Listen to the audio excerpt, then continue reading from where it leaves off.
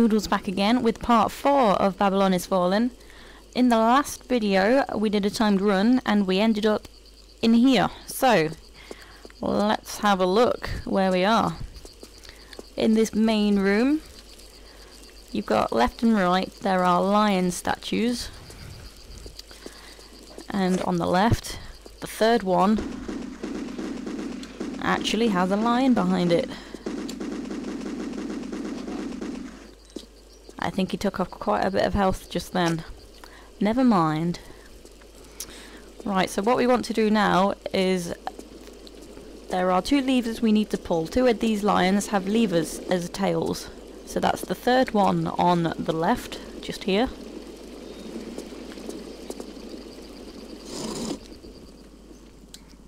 Okay, so we can see what that did. And the second one is the first one on the right as we enter the room.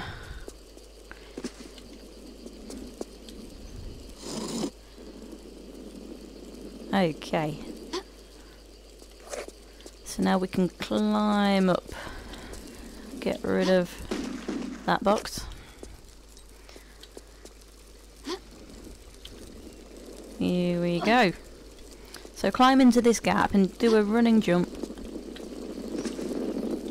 and for some reason you can't do a running jump after you've done a roll like that to here. Usually you can, but not for this one. It doesn't give her enough space for some reason. So just step back like that so she does her animation, and that means she's as far back as she can get.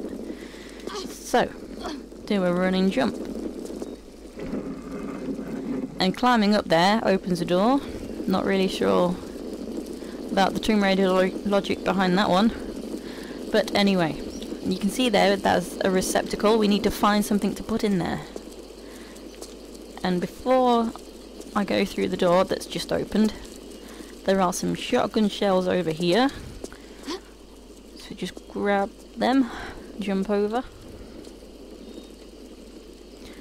And getting back is a bit trickier. So I think that there I'll do it. You want to jump back twice and then do your standard run and jump. There we go. And to get down you want to be on the lower side, otherwise you'll take fall damage. Okay, so the door that opened is behind the second lion on the left. And you can see in this room there are three doors and we can't access them for now so you want to come into this well hidden pool of water and try and get out of the stupid plant. You want to pull this lever. There is a timed door through here. Not this door, this is a troll door. Just go over the top of that. And right here is where the door would be. And it's got a really long timer on it, so you really don't need to rush to get through there. So, come to the end. Here we go. So grab the ledge to drop down. Grab your shotgun. Shoot him in the face. And him in the face. Super duper. So now we need to start climbing up. It looks really complicated, but it's really not.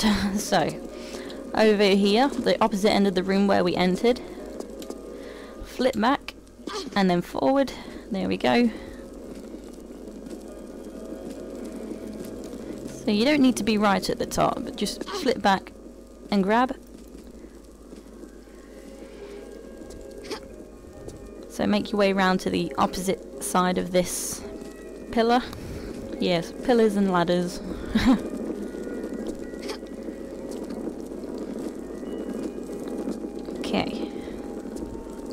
And now, straight across to that ledge over there.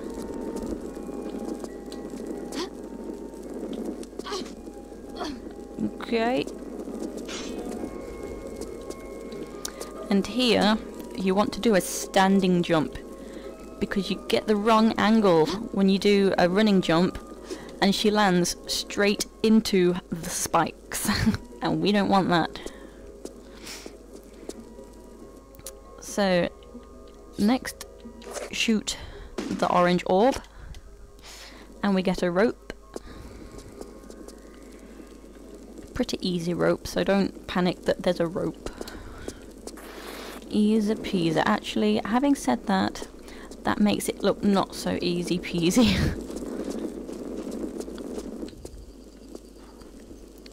okay, okay. One step at a time. Oh my god! Okay, I'm back at this damn stupid rope. Okay, so trying again. If you're wondering why I've shot the orb again, it's because I reloaded. I was so frustrated I started again. so, yes! Yes! I got it! okay, on the rope. You do not need very much momentum at all. So either this ledge or the one just to the right of that. Right, so... Right, so here you've got another pole, you can see it there. You want to do another standing jump, otherwise Lara will overshoot and land straight in the fire. So she just misses it. She is perfectly safe, even though she just misses it. So you want to come to the left side now, and then do a running jump and veer around to the right side so that she will grab this. Shimmy a little bit. You do not want to be all the way to the left. So climb up and jump and turn and grab. Because when she's all the way to the side, she won't grab the pole. I don't know why. That's just how it goes. So, if you remember the lever for the, the timed run we did, it was behind grey blocks like that. So, just make your way over there. She kind of glitched a bit then, but it's okay. Okay, there we go. We've got a jump switch. And you saw the pedestal that was over there. Just grab the jump switch. And now there is a gem on the pedestal. So just make your way back. Okay, it's a little bit tricky. Oh, not that tricky. Okay. I am having such bad luck today. I've died many times getting back here. Right, so we've got the gem there, and before I get that, I will just nip and grab a small med pack, which is an even trickier jump. So from the slope here, you want to take one step to the side, because for some reason on this jump the slope is severely in the way. So just run and jump from there. There we go, just grab that med pack. And now you want to get rid of these because otherwise you don't have enough space to do a run and jump to get back. For some reason it is a lot harder to get back from here.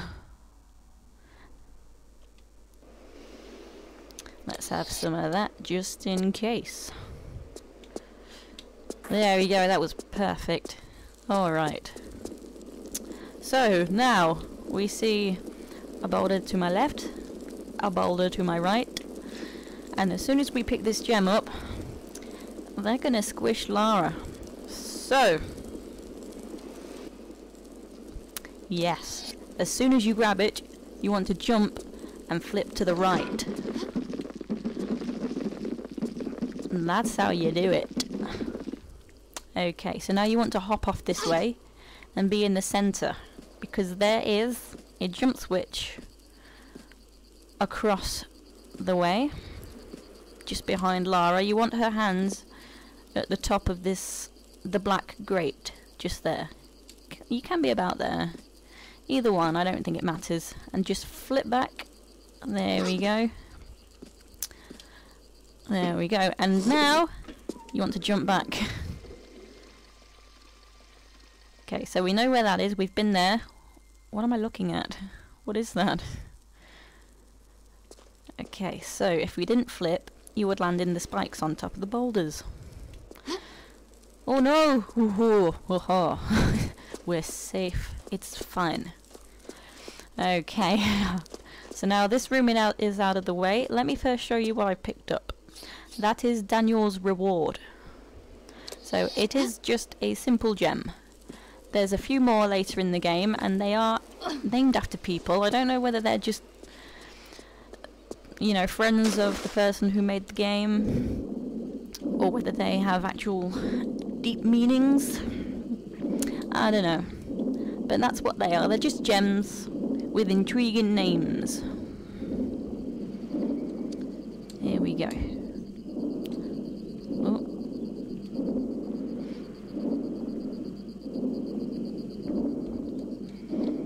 Right, so just climb out. And this door is now open. We've got a statue there which we can push. And if we look at the ceiling, there is a crescent moon. And we need to put the statue on each crescent moon tile. Avoiding the ones that are very different. The two, one in front of Lara and to the right. Because those are spike traps. You can stand on them, but if you push the statue onto them, uh, Lara will be impaled. So don't put the statue there. so this is a very annoying and very tediously long-winded part of the game. so just bear with it. Grin and bear it. Because it would be easier if you could actually stand in the tiny gap on either side of the statue. So you didn't have to keep running around the statue. But unfortunately not. You need to stand in the entire space because Lara has a fat ass.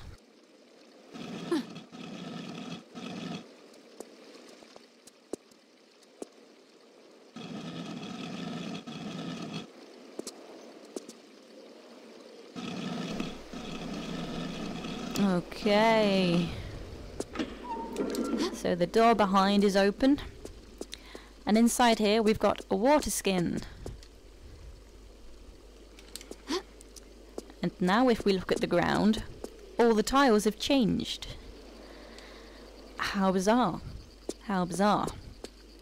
So you just want to pull the statue onto the only tile that now looks different, which is right in the centre.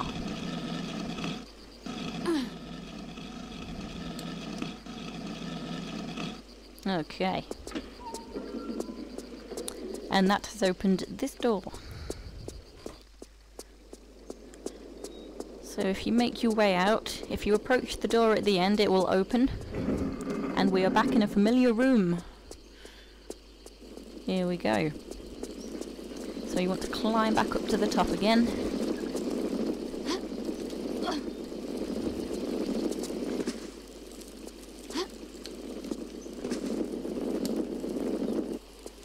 Okay. And I didn't mention that across the other side of the room there, you can go over there, but it's full of death water. You can just see the red glow of the death water. So, let's place Daniel's reward.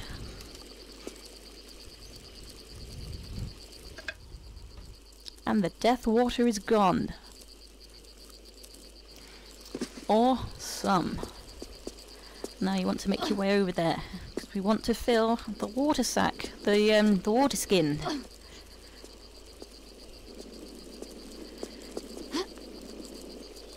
And you do need to do a curved jump just here, which is actually pretty easy.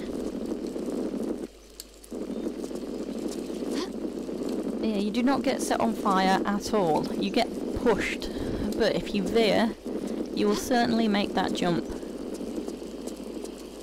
Okay.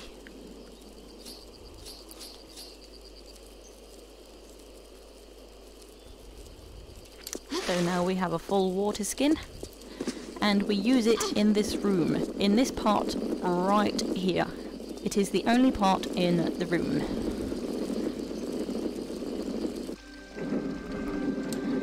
There we go. straight through here. And you remember me telling you right in the first video, there are what looks like two buttons that are actually receptacles. This is a tablet that goes in one of the receptacles, but we won't be placing it till close to the end.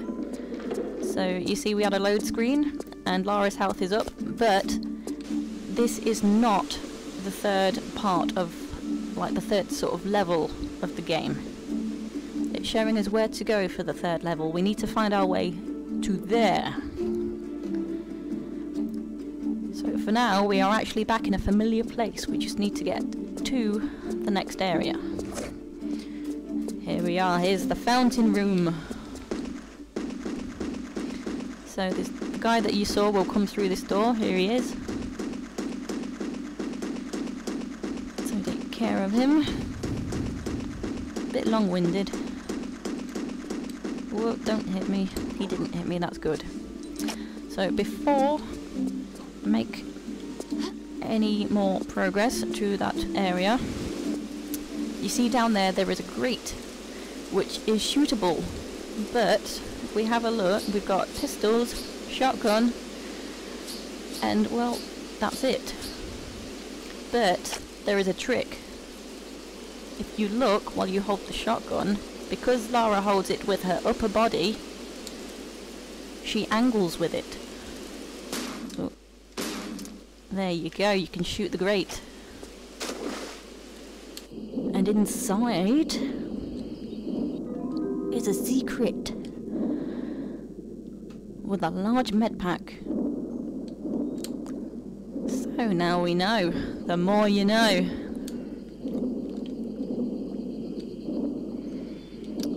Okay, so now we can just make our way straight to that other area, the new area. So if we come here, so this room is where we picked up two cogwheels, remember that? We don't need to, we've already done it. If we come through here, this is actually a return path for somewhere we've already been. Because we were running around up there before, so if you fell off, you'd have to go all the way around and start again. Which I didn't tell you, I probably should have done. So if you approach this area, if you'd come through here before now, you would just get a dead end. But now we have a cutscene. That's not a cutscene, that's a load screen. So we are in the third section, which is called Hidden Gardens. This section is Hidden Gardens. If we run on in with pistols, there is a poisonous harpy. Do not go near it. Where is it? Whoa, too close. right.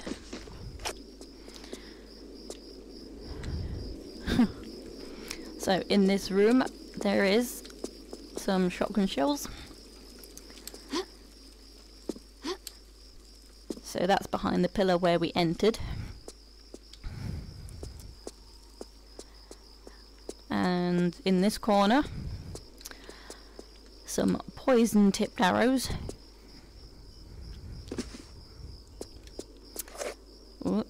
And behind, or underneath, or inside, whatever you want to call it, this thing, there are some flares. Okay, so when we came in this area, you, no you noticed this door opened as the harpy came through. And there is another door further round. If we approach it, it will open. And we need that door open so we can make a running jump to this ledge. Magic. Okay, so now hop up and now, just watch out for the strange dart trap. You could just shimmy all the way around. Oh. Well, maybe not, because she's gone off on one. No, I think you do have to use the monkey bars, actually. There are monkey bars to use.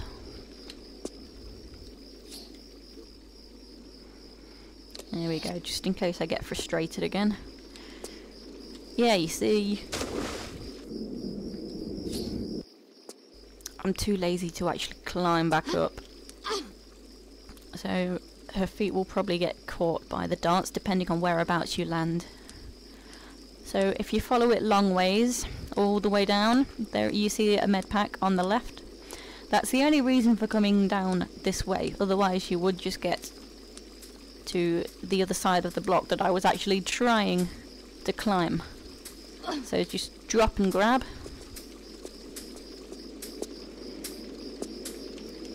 And then do a running jump. And I have never been hit by a dart there, doing a running jump there. So do not panic. Here we go, just run and jump back.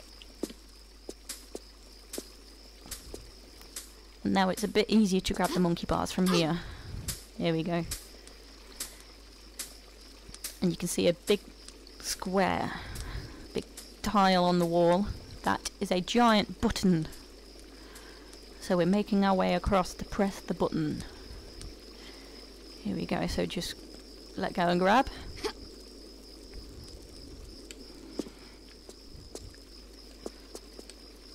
Push the button.